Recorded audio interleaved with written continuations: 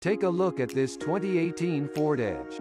Equipped with an automatic transmission in magnetic. This car comes with some great features including alloy wheels, heated seats, anti-lock brakes, audio controls on steering wheel and more.